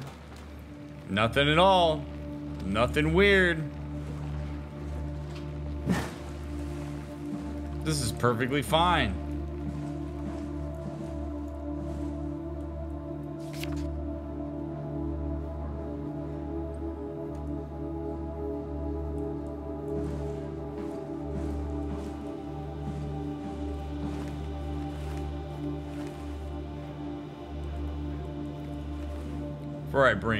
Catherine back. Documents. My decision.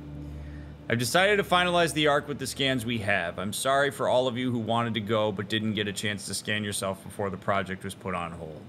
It's been two months since I've added a scan, and I don't see how I'll ever be able to win back the support you all showed when we started the project. I'm sorry. I never meant for anyone to take their lives. It was never my intention to fool anyone. I just wanted to save something.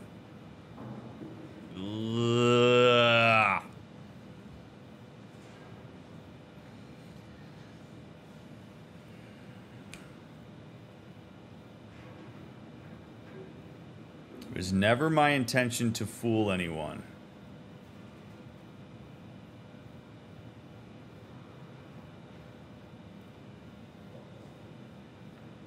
Boy, she's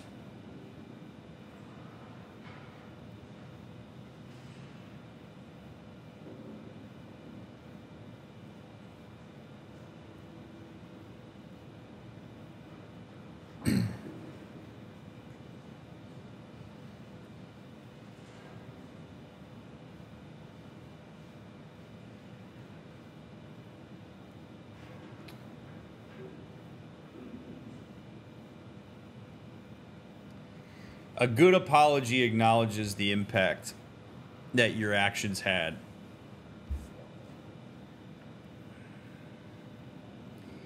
Generally does not include a listing of all of your intentions. As we've talked about in several playthroughs, impact is more important than intention. Impact has to be acknowledged before intention. It's okay to know that you it's okay to mean well. Sometimes you mean well and bad shit happens. And this is what I mean. Like I don't know that I don't know that Catherine is doing all of this maliciously, but the impact of her actions has very severe consequences. But you cannot expect people to empathize with or be curious about your intentions until you actively show them that you understand and validate the impact that those actions had on them. And this apology doesn't really have that. It's not great. And there's even a little bit of guilt tripping in here. It's been two months since I've added a scan. I don't see how I'll ever be able to win back the support you all showed me when we started the project. That's a that's passive aggression.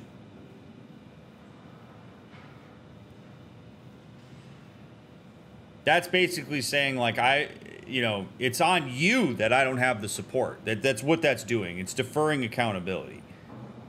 It's you know, well, if you guys would just support me, I could do more scans, but because you haven't stood up for me, your fault.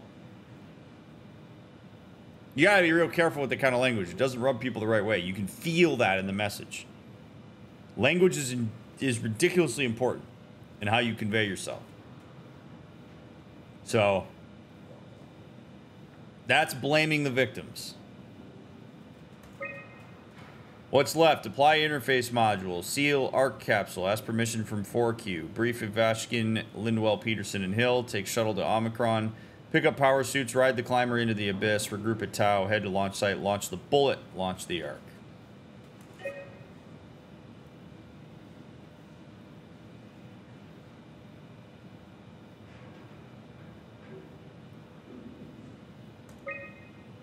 Ark locator over in Tau. So we got Theta, Omicron, Tau, and Phi. Ark attitude survey. To gauge staff opinion, please fill out this short survey. Why not? Recently, it was decided that the ARK project would become Pathos 2's last official commitment. The staff has been urged to carry on with their duties despite Earth's catastrophic condition. I think the ARK project is the most logical step towards saving mankind, and that we should spend as much time and resources as needed to complete it. I disagree. To embark, every passenger needs to be flushed with the electromagnetism using a pilot seat. These scanning sessions are known to cause nausea and headaches, sometimes lasting up to three days. I think temporary physical discomfort, no matter how severe, is a small price to pay for is a small price to save mankind. That's a loaded question. Strongly disagree. The Ark is built to fit a Ranger Mk7 probe, meaning it could be shot into space with an Omega space gun and technically survive for thousands of years, living off the light from our sun and distant stars. I think the Ark should leave Earth behind and be launched into space. I mean, if Earth's that bad a shape, sure. The digitization of humanity is an opportunity to make a quantum leap in our own evolution. The people inside the Ark will, out of necessity, be generated from existing genetic code, but could be altered to allow for cosmetic changes, ease aging, and even prevent death. God damn it.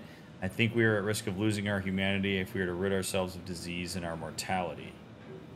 Well, I don't mind getting ourselves rid of disease, but mortality I mean, I personally hate the idea of immortality. So I agree with this. There are only 58 people left alive to be stored inside the Ark. A way to diversify and expand the population would be to introduce artificial intelligences that would in every way appear to be human, but with childlike and naive sensibilities. As we continue to explore the nature of intelligence, we may find a way to make them smarter in the future. I think even an inferior group of artificial people would benefit our society. No.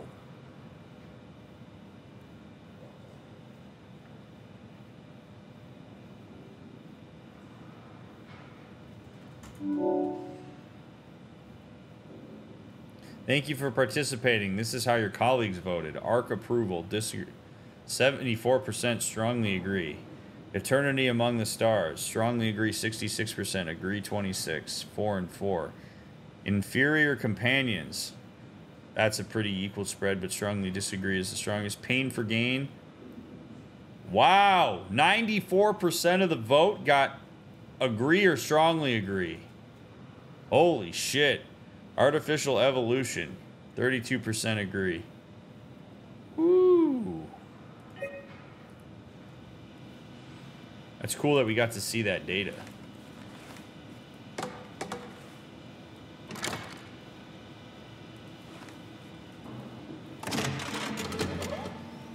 Huh?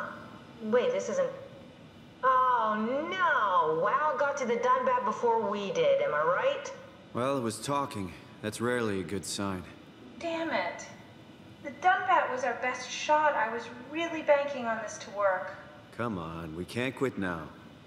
There's gotta be another way. How do you think you did it? How did the team get the Ark down the Abyss in the first place? If they didn't use the Dunbat, the only other way would be the climber at Omicron. It's like an elevator which supposedly reaches all the way down into the Abyss. Okay, so we do that. We go to Omicron and take the elevator. Yeah, okay. Sure. We'll just head over to Omicron and hope there's a power suit that fits you. You know, so you don't implode while in the abyss. That does sound useful. Alright, let's go then. Wait, what is this place? Seems to be a lot of information on the Ark here. There's a prototype and everything. Okay. Let's start it up. I want to see how it works. Maybe we can figure out how to get on the Ark. You didn't know how to get us on? How difficult could it be?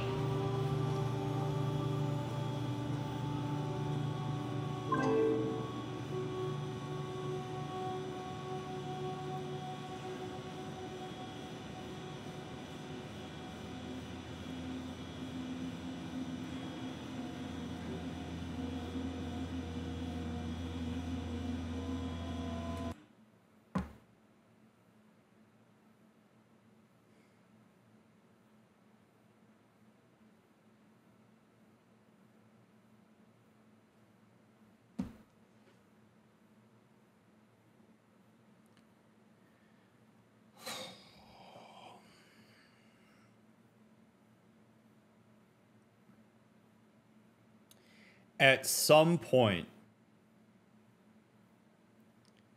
this is no longer on Catherine. At some point, this is on me for continuing to go along with her. Like I'm essentially, to a degree, enabling her behavior by continuing to activate her and continuing to follow. That's what that, and honestly, that's a part of my frustration here. Is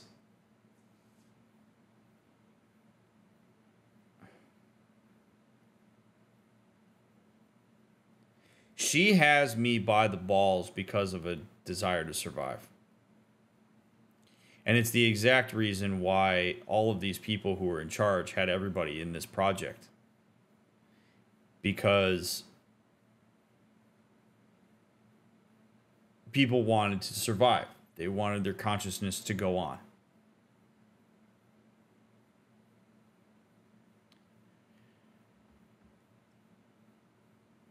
It's fascinating the way that this works. Catherine is providing very, very limited amounts of information. And as a result of that, we are being left to make certain assumptions about Catherine. And one of the things that I think is important for people to know is that there, more often than not, unless people have had a ton of adverse experiences, people will generally skew in the direction of giving people the benefit of the doubt. Because Simon doesn't know really anything about what's going on and is learning about it piecemeal, and Catherine is somebody that he perceives to be an authority on this, perceives to be somebody who has not just power in the sense that she can control some of these facilities, but has power in the sense that she has intellectual power. She, she has knowledge. She has an understanding of what this is. Simon is likely to fill in the blanks with a assumption of competence that Catherine knows what she's doing. She's directive, she's concise, she is limited in the information that she provides, but there's a degree of confidence that she that she talks with. And because she was part of this project, had a position of power on it or whatever, if you're Simon, of course you're going to believe that she knows what she's talking about. I, I think what is really just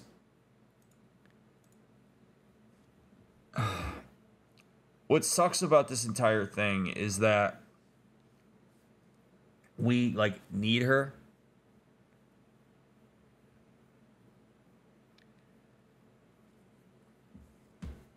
And there's not really a lot of leverage that we have against her other than if we were to say if you don't give me all the information that I need in order to make an informed decision on this, I'm going to snap this Omni tool in half and go just drown myself in the ocean. But I don't even know if that's going to matter.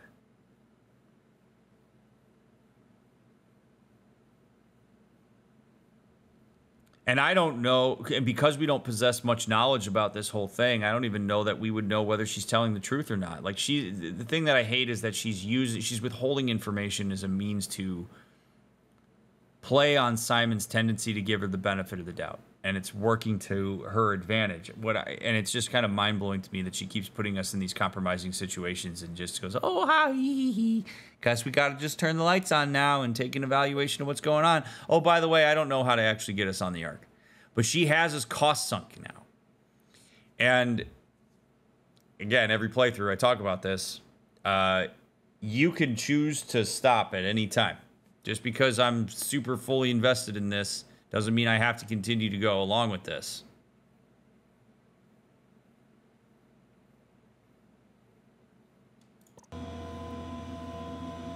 I could say to her, you know what?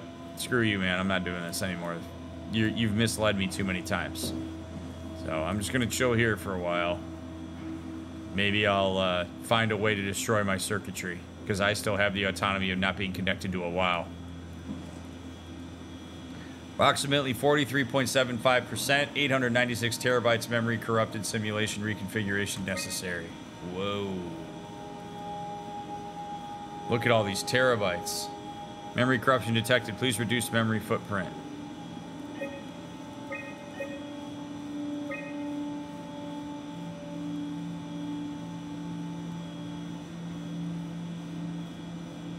I don't know what any of this is.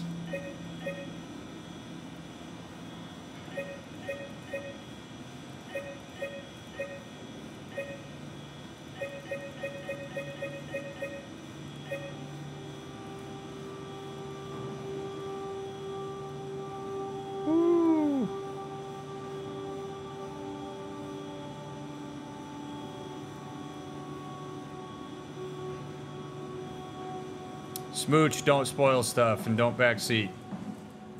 Unless I specifically ask for it. RX 521358L. I don't know what any of this is. Okay.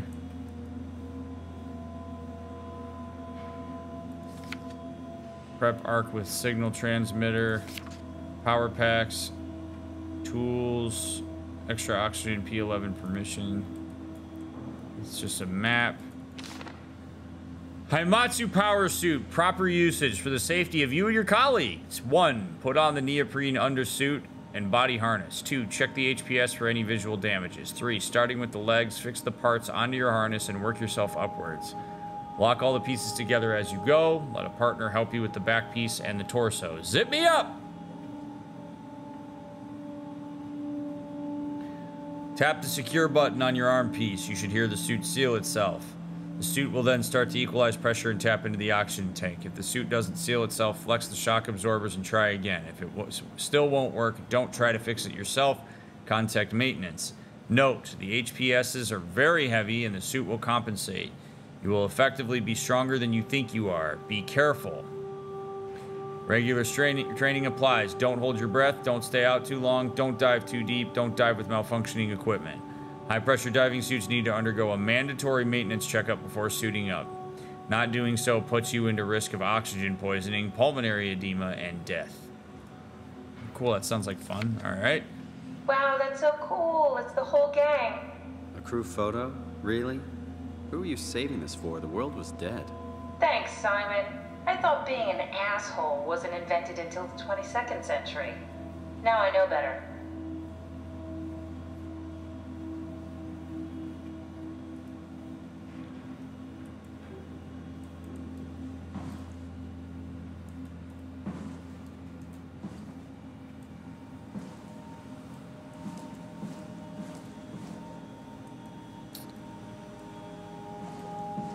Yeah, just uh, as a reminder for anybody who might be in here for the first time or hasn't been here for a while, just in general, I don't want any information about what to do ever unless I specifically ask for it. I don't want clarification. I don't want to know gameplay tips. I don't want to know any of that stuff. Uh, the fun of these runs is predicated on me figuring out as I go. So unless I specifically ask for help, assume I don't want it.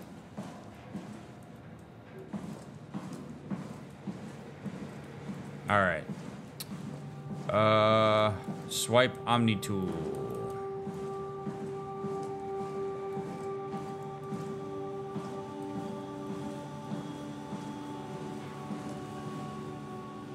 Got all these power cables that hook up to just random shit. Alright. What's this thing?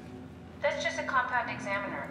Koster uses it to investigate structural integrity in payload frameworks. Of course. Could you fit inside it? If I knew what you were made of, it would be a hell of a lot easier to figure out how to get you on the Ark. Well, I'll give it a try.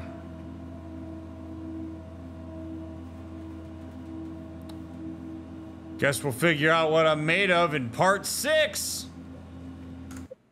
YouTube, thank you so much for taking the time to watch this. I appreciate you immensely. Leave a like, subscribe to the channel, leave a comment. Follow the links down in the description. Thank you so much for taking the time out of your day or night to watch my content. And I hope I get to see you over in part six. If you're waiting for the next one to come out, get it out to you as soon as we can. If you're binging, see you in the next one. Appreciate you immensely. See you on the next one.